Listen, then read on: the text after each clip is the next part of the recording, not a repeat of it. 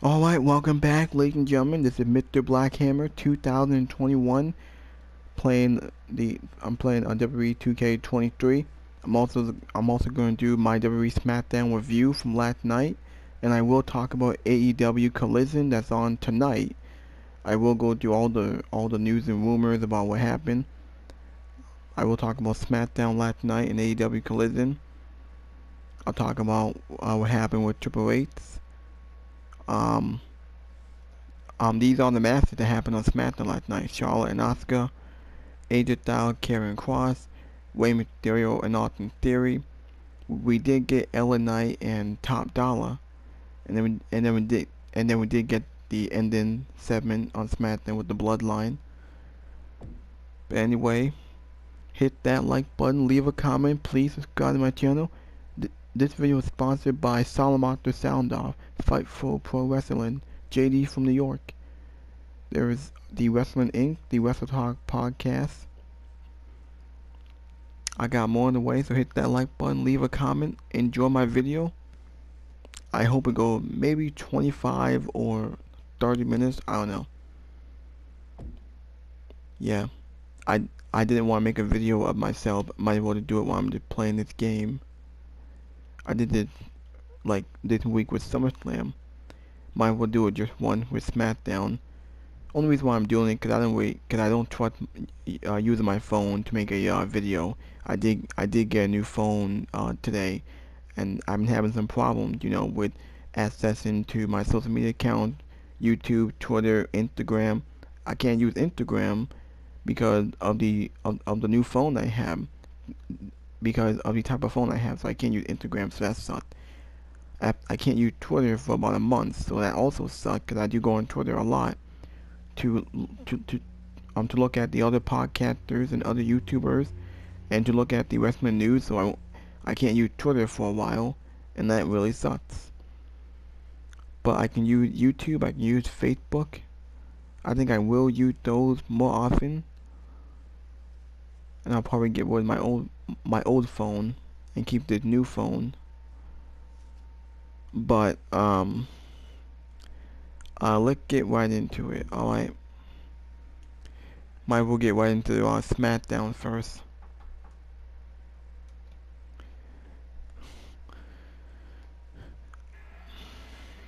Now AEW is on right now. It's actually almost over. Uh the main event is uh CM Punk and FTR versus versus the House of Black with uh, Malachi Black, Buddy Matthews, and the other guy for the Trio Championship. That's the main event for AW Collision. It's a pretty good match so far. Uh, uh, uh, uh, let's see who's gonna win it.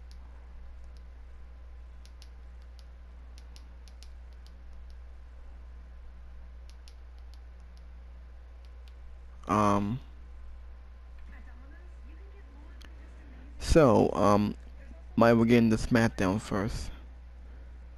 So, SmackDown was okay. Wasn't the best show. It was decent. It was alright. There was, there was nothing really much outside the bloodline. And outside everything that they're doing. So, the opener of SmackDown, we got Charlotte Flair versus Asuka. This match was whatever, it was decent match. The match ended, I think, on a DQ because Damage Control got involved. And Io, Dakota, Bayley, they interfered. They cost Charlotte the match. Charlotte knocked on the mat. They both, they brawled for a bit. And that was it. Now, I don't care to see Charlotte and Asuka. It, it's the same old shit with these two. We've seen this match time and time again. We saw that feud and the match ended in a DQ could uh, damage control got involved. The way how they put Io tonight by her coming out there and attacking Charlotte and Asuka, transitional champion. She may be a transitional champion to where she might lose that title. Well, well, the match ended. The match ended in a DQ. Uh, whatever. Ended in a DQ. So who is Io gonna wrestle? Is it going to be Asuka or Charlotte? Because Charlotte wasn't pinned at SummerSlam. Uh, there was no sign of Bianca on SmackDown. She's selling the injury of her of her being injured. I don't know if it was a legit injury or if, if it was a story injury and she's off TV for a while. I don't know. Maybe they'll do Asuka and Io at at the next pay per view at Payback. Maybe it shouldn't be Charlotte because Charlotte shouldn't win the title back. Eels, Io you have a long title reign, a memorable title reign. Do Asuka and and with the reports of uh, what's her name? Um, um, the reports of Kairi Sane coming back. It could. After that, we did get a AJ Styles versus Karrion Kross. That was a pretty good match, a decent match between these two. AJ Styles gets the win here. These two have feuded for about probably two months or two and a half months, I think. Um, they've been going back and forth. AJ Styles got the win a few weeks ago, and then he beat Karl Anderson. AJ Styles wins here. Now, based on the the vignette and the video package that Karrion Kross made, I think it was last week or it, it was earlier this week. I, I don't know. But he did tease that he might have someone else join him. Maybe he might tease a faction. I don't know. Don't think that'll work for Kross. I think we have enough factions on the main roster. We have a pretty good tag division. We have enough factions here. But anyway, AJ Styles, he gets the win against Karrion Kross in a pretty good match. So I think the feud is over. Don't know where they go from here. Does AJ Styles go? He's not going after Roman Reigns. He's not going after no World Championship. Where Kross gonna go? I, I don't want to see versus Rey Mysterio. So speaking of Rey Mysterio, we did get the United States Championship. Rey Mysterio versus Austin Theory. Austin Theory versus Rey Mysterio. It was supposed to be Austin Theory versus um, Santos Escobar because Santos beat Rey Mysterio two weeks ago. That didn't happen. During bat, we did get a backstage segment with Austin Theory attacking Santos Escobar. He went after his knee, took him out. Austin Theory came out there and said he's not going to defend the title tonight.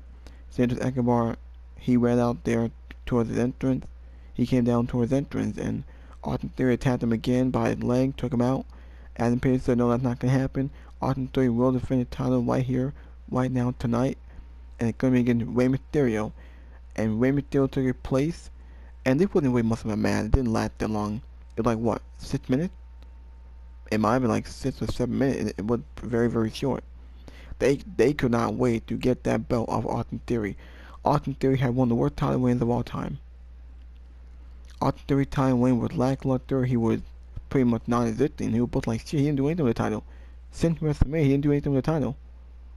Sure, he may have defended the title, but he didn't do shit with it. He'd been like, he'd been a weak champion. He'd been very forgotten about. He'd been like an afterthought. This hit title win is worse than Dean Ambrose. Let me know in my comment section who had the worst uh, U.S. title reign? Was it Dean Ambrose or Austin Theory? Now, now, now, now, to me, I think it was Dean Ambrose because Dean Ambrose he was United champion for over a year, to 2013, uh, to 2013 and 2014, and he didn't do shit with the title. How many times did he defend it? He held that title like an afterthought. It was like a paperweight. And then and then we lost the title. I don't think people cared. Now, granted, he was in the Shield, and um, there was no plan for Dean Ambrose. But man, that title win was shit. Austin Theory title reign, he had it since Survivor Series last year. Uh, he had some good matches with Seth Rollins and had a feud with Bobby Lashley. He defended against five guys inside the chamber. He beat John Cena at WrestleMania, and the way how he won, I know people complain the way how he won because he wasn't clean. He actually cheated because he low blowed John Cena and got the win, and it felt like an afterthought. And John Cena white. He came out on that white, and the crowd booed him. They chanted, "You tapped out." They chanted, "You were full crap." That was the story that John Cena said to Austin Theory going into that match. That, but then you gotta go out on the Raw at the Mania in front of the most ruthless, aggressive WWE audience. They'll eat you alive, and then they'll see what he see. You're full crap. Because every week the crowd kept saying, you tapped out. Kind of shit on Austin Theory and the title reign. But same thing, he hadn't done shit with it. Since WrestleMania, since Backlash when he beat Bronson Reed and Bobby Lashley, but since then he's been like an afterthought. He had no one to feud with. And that's why his title reign was forgettable. Now, I will talk about this. I think WWE wasting our time with this United States, with with, with those fatal four-way matches, because you know, because for weeks now, for like three, four weeks, we had those fatal four-way United States Invitational matches, to whoever wins faces Austin Theory. Now we thought it was gonna be LA Knight. We thought Austin Theory was gonna defend at SummerSlam. That didn't happen. LA Knight he lost the fatal four-way. Santos Escobar he won the fatal four-way, and he faced Rey Mysterio. But the thing is, Santos Escobar beat Austin Theory clean for the U.S. title in a non-title match two weeks ago. And then he beat Rey Mysterio. Well, not clean. It, it was a fuck finish because Rey Mysterio got hurt in the match. And they had to do a ref stopping where they stopped the match and awarded Santos the victory. So that told me, well, Santos ain't win the title. He's not, he's not winning clean against Austin Theory. And then when we get the match, he get taken out. He sold a knee injury Rey Mysterio took a place, won the match real quickly. So hopefully it's all setting up. Maybe this might be tension with the LWO. Maybe it might. Maybe Santos might turn heel. Maybe the LWO might turn on Rey Mysterio. I doubt it, but they could do that and do Santos and Rey because Santos is jealous that Rey took his opportunity. Maybe they will feud and we'll get that big match. We can tell that big story. I don't know. I don't know where we're going from here. Don't tell me Rey Mysterio won because he's a babyface and Knight is a heel and Knight might win the title. Hope that's not the case. If that's the case, then why didn't Knight beat Austin Theory? Knight getting babyface reactions. He was on the show tonight and he got a mega pop. He beat Top Dollar in another match. Don't know if if LA Knight is on Raw SmackDown. I don't know. He he he was on Monday Night Raw. He had that great promo segment with The Miz. Now he's on SmackDown rather than hit well. Don't know why. Is he going to be in the uh, is, is, is he going to be winning the United States Championship from Rey Mysterio? Maybe they'll do it on pay per view. I don't know. I don't know. But uh, Rey Mysterio won the match. He beat Austin Theory. Well, damn. I thought, like, what a waste of Austin Theory. Austin Theory must like shit. Where if now where does Theory go after this? I don't know. Maybe get paired with Grayson Waller. I don't know. Now with Rey Mysterio, hopefully we tell something with him and Santos Escobar, and they can do something with there. But yeah.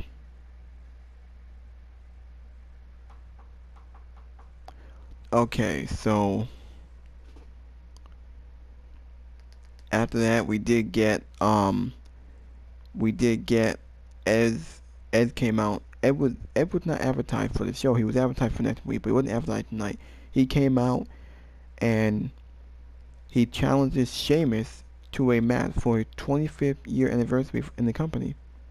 You know, I think next week, or I think it was last night or next week, as to celebrate the 25 years of him in WWE, the 25th anniversary. He came out, he, he challenged Sheamus. He wanted to face someone he'd never faced before in a one-on-one match.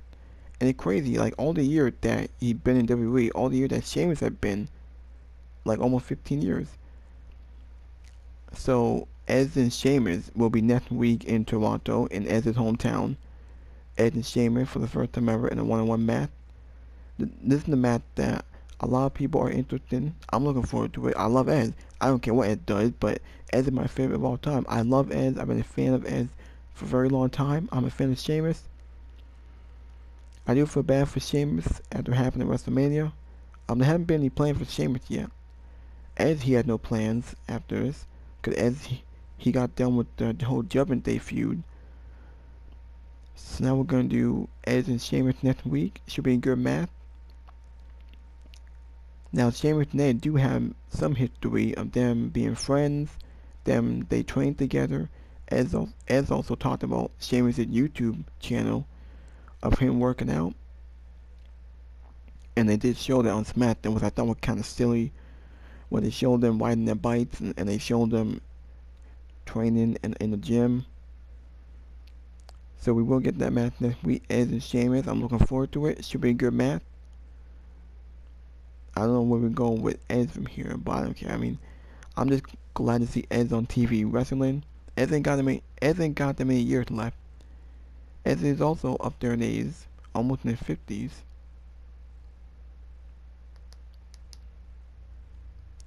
Now, Ed did beat Grace, uh, Grayson Waller a few weeks ago in Madison Square Garden. Is he gonna beat Sheamus or is Sheamus gonna win? And they might tell a story here. I don't know. Alright, after that we did get Bobby Lashley and the Street Profits in a pretty good segment. So Lashley and the Street Profits vow to take over SmackDown and be the next blood. So they talked about last week when they attacked when the Three Profit turned heel and they attacked the OC and the Brawling Brute. I'm I'm loving what they're doing here. Very interesting. Bobby Lashley building up a new faction. The Street Profit turning heel. I thought it was pretty good. Hopefully that I'm glad we're seeing Lashley on TV. I don't think Lashley has wrestled and it been it's been a few months now since Lashley was in the ring. I think since May. I think that was the last time Lashley wrestled was back in May. And the Street Profits, um, I'm loving what they're doing here. It's uh, pretty decent. And the Street Profits are getting over. And and finally, we will talk about the entire thing with the bloodline that ended the show. So we get uh, Roman Reigns comes out, says acknowledge me. Jimmy Uso comes out, and he explains his action to his brother Jey. I mean, I mean, first Wayne came out. He came out with just one belt with the Universal title. Jey and then Jimmy Uso came out and said, "What I did on at SummerSlam has nothing to do with you, woman it's with his brother. So after that, Jey Uso came out. Jimmy tells his brother why he did what he did. He said the reason why he attacked his brother was because he loved him and because he didn't want him to win and be tribal chief because he didn't want him to be like Roman Reigns. Okay. I know a lot of people thought that the Bloodline story had had shark jumped, that it went in court, that maybe it's dragging out too long. But that was the plan by WrestleVote and by Backstage Creative and other people in WWE saying that um, they plan to have a long-term booking. Some people think that this story might drag on all the way to WrestleMania 40 next year. Some people think that we might get Jimmy and Jey at WrestleMania. People say, oh, oh that's a WrestleMania match. No, it's not. I don't think that could happen. That's way too long. I think they might feud at Payback on September 2nd. I think that will be because I don't think Roman Reigns is gonna be on pay per view, and you need a big match and a big build. It might be Jimmy or Jey. So after Jimmy gets done saying what he did to uh, Jey, um, we did get Jimmy Uso walking out of the ring. Roman Reigns telling him, "I told you so." He said, "Acknowledge me," and Jey Uso super kick Roman Reigns. Solo beats him up. Jey super kick Solo. Jey gets out of the ring. I'm, I'm just gonna skip ahead and go to the ending of this, where Jey he gets out of the ring. He goes near his brother. He he teases to try and hug him, but he super kicked Jimmy Uso. And Jey Uso walked out of the arena. He went up the crowd. He, he walked into the crowd. Out of the arena said, "I'm done with the bloodline. I'm out." I'm done with SmackDown. I'm WWE. Jey Uso quits WWE. Some people think, oh, is he going to AEW? Is he going to be off TV for a while? Maybe a few months? I think it'll be TV for a few weeks and then it'll come back. I thought the segment was okay. It dragged on a little bit too long, but I get why they did it. Some people think it might be kind of lame. I thought it was alright. I think it was decent. But um.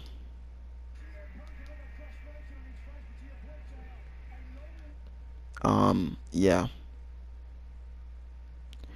So, what I thought about this whole bloodline thing. Now, as you guys know, that Roman Reigns is not going to be. He, he's not defending the title payback or February, so he's missing three pay per views.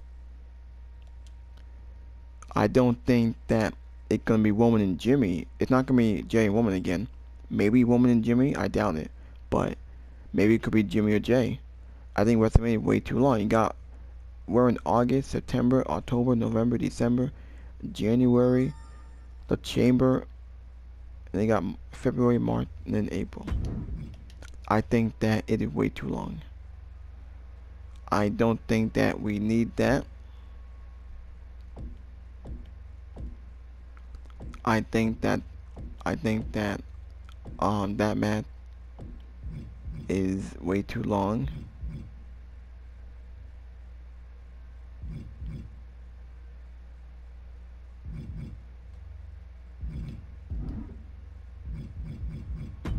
So, um, yeah. SmackDown was pretty decent outside the bloodline and what's going on with Bobby Lashley and the Street Profit, Edge and Sheamus. Rey Mysterio won the uh, U.S. title. Uh, the woman who gives a shit, but SmackDown was alright. Very SmackDown starting to feel a little bit slim. At least Monday Night was a lot better, but SmackDown does need some work. So I don't know where they're gonna go with the whole bloodline thing. They could do Roman and, and Jimmy a payback, but I don't think so.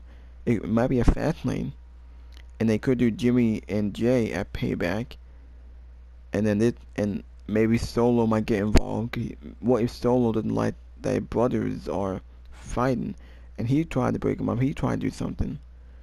Because what's Solo gonna do? And what is Roman Reigns gonna do? Roman Reigns Universal Champion. What's he gonna do?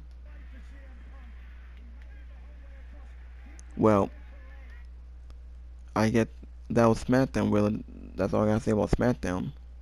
As for AEW Collision that was on tonight, I I don't think it said the show was live. It said the show was new. It doesn't say live. It said new. So was it pre-taped? Or maybe it is live. I don't know. I'm just gonna go into the main event of this show. Uh, Samoa Joe got involved. I think he attacked CM Punk. He attacked CM Punk. House of Black retains. So CM Punk got screwed over by Samoa Joe. He came out and put the the Coquina Clutch on CM Punk. House of Black they won. They pinned FTR, and they're still champions. So Samoa Joe and CM Punk will definitely continue. We'll see where the House of Black goes.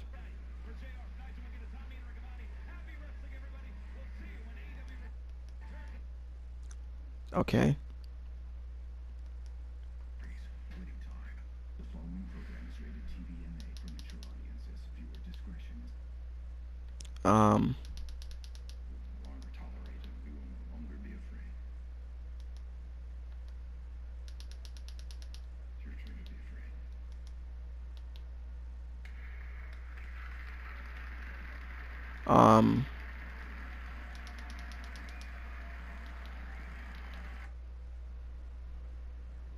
Okay. As you guys know, that uh, Ricky Starks declared war against CM Punk. So those two are still feuding.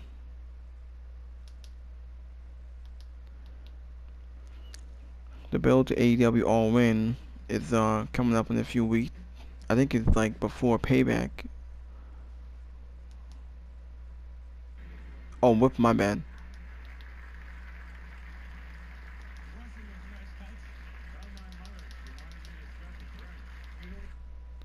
Um, hold on.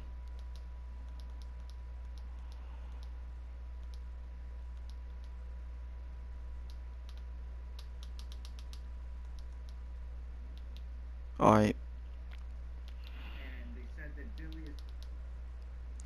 Uh, Collision was the best wrestling show on television. We did get a tag team grudge match with TBS champion Kris Statlander being joined by Willow Nightling, Nightingale to face Mercedes Martinez and uh, DMA and the return of the A-Claim to and the return of the A-Claim to Tanti Madison. You're wondering what the initial CMFTR mean. Um, you never know. You never know who's on. Um. So we got Ricky Starks suspended and declared war on CM Punk. So he's still gonna he's still continuing to feud with CM Punk, which is pretty good. We also got oh yeah I forgot. Yeah, so we as I said the A-Claim Max Caster and Anthony Bowen versus the Iron Savages, Bronson and Balor. In a pretty good match tonight. So far Collision have been great, but on fire lately. AEW beat Collision at WWE. It's AEW Collision beat WWE at Wembley's. Alright. So they're still building CM Punk and Ricky Starks and Samoa Joe.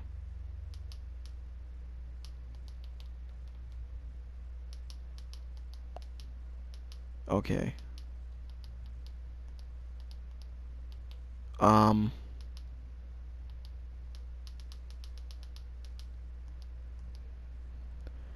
Now, I, also want to talk about, as you guys know, that uh, Triple H was removed from the WWE Board of Directors. That's the news and rumors in WWE right now.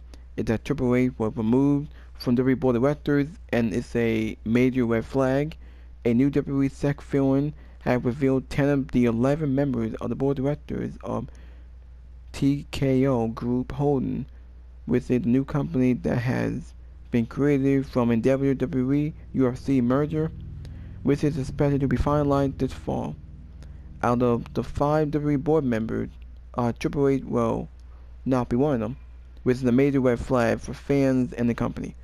Also, major health update on Bray Wyatt, with the company eyeing him eyeing a September return for him. And RV, RVD impresses AEW on Wednesday night against Jack Perry. Is already set to become all elite for AEW. Means he might stay there for a while.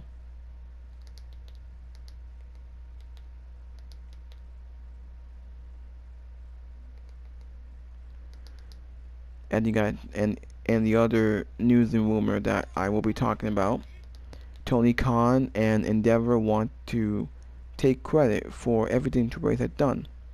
Endeavor want to make NXT on Tuesday night a sustainable third brand and credit Nick Khan for it. Meanwhile, we all know it's already a third brand before they destroyed it for their own personal gain. Also, Kenny Omega's match for All Wins seemingly revealed, and it War Games coming back to Survivor Series. Uh, the main roster seems to think so even though they didn't confirm it, but I think Triple H wants it back to make Survivor Series mean something. I almost forgot. Um, in case you guys are wondering, I did not do an AEW Dynamite review. I didn't have enough time. Can just stop the whole fucking show. Dynamite was alright. So um for AEW Dynamite on Wednesday, Adam Cole chooses Roderick Strong over MJF. RVD versus Jack Perry, as I talked about.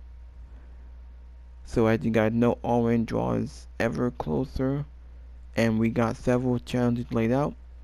One AEW World Championship match made with Adam Cole challenging MJF tonight. Will we see a two-time AEW AEW Women World Champion with Hado Saga defends against Anna Jay. At on the same night, the JAS as a mandatory meeting that could very well determine the future of Jericho's group. Plus, FTW champion Jack Perry defends against WWE Hall of Famer Wa Wa Van Dam. The Hardys and the Young Bucks fight for the first time since Double or Nothing 2022. And the Blackpool Combat Club takes on the Lucha Brothers in a tag team action. And, and as I said, MJF and Adam Cole continue their path to All In. And we'll see who wins that match.